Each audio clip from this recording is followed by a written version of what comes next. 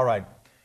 Right now, we all uh, we all we like to talk about checks and balances. Yeah. It, that's what life is all about, isn't it? Sometimes it's very easy to balance your checkbook, but sometimes other things, when it comes to that, can be way way off. Mm-hmm. And then the banks charge you for it. yeah.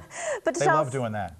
That's right. But to tell us just a little bit about how you can avoid all the chaos that comes with your banks, maybe keep your uh, finances in line. Joining us for her weekly visit, Denise Winston, time and money saving growth. Thanks for joining us. Yes, well, you know, it's not just about the fees they charge you. Okay. Um, there is something out there that most consumers don't know about. And the bottom line is common knowledge that we have a credit report and a credit history out there. Right. Most people don't know that there is actually a bank account history out there, and you can get a copy of your report once a year, just like you can with the credit reports by going to um, consumerdebit.com, and that's D B E I T.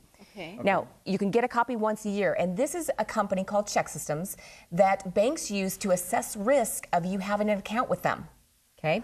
Okay. All right. Meaning that if you have bounced a lot of checks Yeah. and you've left your account overdrawn and you just said, I'm so far in the hole, I can't do this anymore. Can't pay it. You walk away, mm-hmm. you owe them more than $100, it's more than 45 days, they will most likely, and those numbers change, mm-hmm. but they will report you to ChexSystems. Okay. Now, having a report on ChexSystems can be devastating because that means that you may not be able to have an account for up to five years. Oh boy. Wow. And nobody knows about this until the damage is done. Right. Once the damage is done, the damage is done.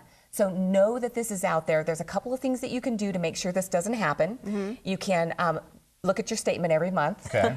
Well, You can balance helps. it. Yes, it helps. But you can also set up some overdraft protection. You can get email and cell phone alerts. But I can tell you, over my 25 years of banking, this can be devastating for many people because once the record is there, the record is there. And even if you pay the back the money back, they are not obligated to remove you from the service. So is there anything you can do? Can you like maybe contact the service themselves and say like Um, I've taken care of this? No. Even if you pay it back, it Yeah. shows that it's been paid back. Get a copy of your report by going to the consumerdebit.com. The information on that report is astounding. Mm-hmm. They have all the checks that you've ordered, if you bounced any check, the actual who it was paid to, Okay. um, and who's looking at this.